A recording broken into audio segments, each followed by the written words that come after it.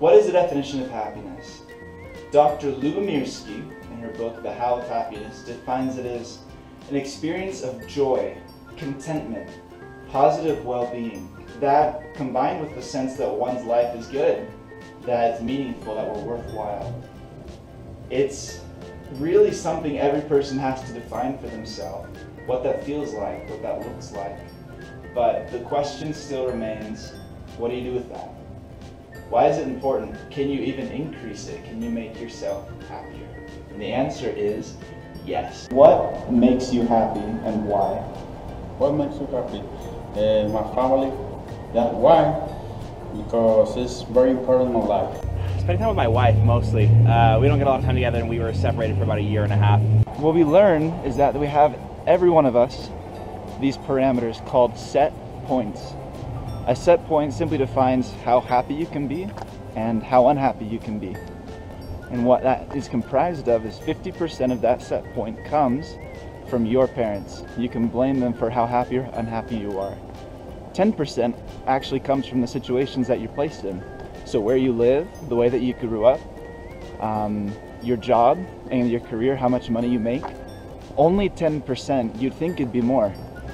But the really astonishing factor is that 40% of what will make you happier or more unhappy comes from the decisions you choose to make. That 40% has to do with the decisions that you make to make yourself happy. So what makes you happy and why? Um, definitely my family, just because they're the best. Yeah, family's great, and also the gospel. Um, music makes me happy because it helps me relax. Frank Lloyd Wright said something profound about happiness. He said most people are no more than janitors of their possessions. This means that we collect and we develop all these different things, and yet none of it really brings us lasting happiness. We're just simply taking care of it. We're dusting it off every week or every month or every couple of years when we even pull it out. See, happiness isn't found in the things that you have or the things that you can obtain. Happiness is inside of us. That thought that you can obtain more happiness by the things that you get is called a hedonic treadmill. It means the faster that you're running and the farther that you're trying to go, you're really only standing in one place.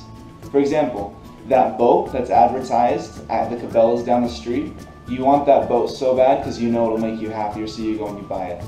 But now you feel like it's not enough, and you have to go and get the four wheelers as well, and on and on and on. So instead of running on this treadmill like a maniac, who that guy was, learn to elevate your experience by using the tools and the resources you already have.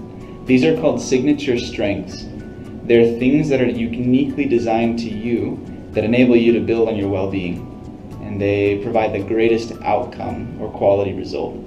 So, signature strengths are things that enable each of us to develop a greater sense of who each of us are and then to create deeper levels of happiness. So, one of those signature strengths for me is an appreciation of beauty and nature. So, places like the mountains or where you get off of the beaten path are experiences that help me to connect with really who I am and these enable me to build upon and grow in my levels of happiness. So one example of using judgment and critical thinking is here at Taco Bell.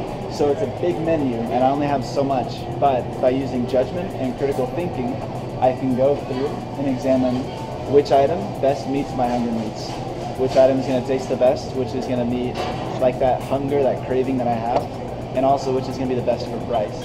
And naturally, as you can see, the $1 stacker is the best choice and I would totally buy it if I had money. So one of the best ways that you can increase your happiness is learning how to savor the experiences that you have. And this is called living in every moment. For example, you go and you have this delicious hamburger that you just created and you're sitting there and you're taking the bite slowly, you're breathing it in. Your eyes are closed, you can feel the meat sweats coming on. You're with friends, you're at home where you're comfortable, and you learn to just embrace these experiences to the maximum.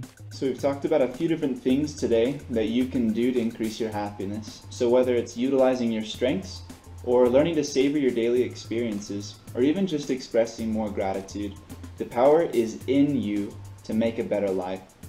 And so what are you going to do? Live happy, Choose to be healthy. Say thank you. Make someone else's day better. Live adventurously, dream, and go to the mountains. This life is your life. So, how are you going to live it with the time that you have? Son, and this is all just got really dumb, but it is what it is. I'll just kind of take a pause so I can like splice it. Mountains! Squat peak, take 24. You're so good to me.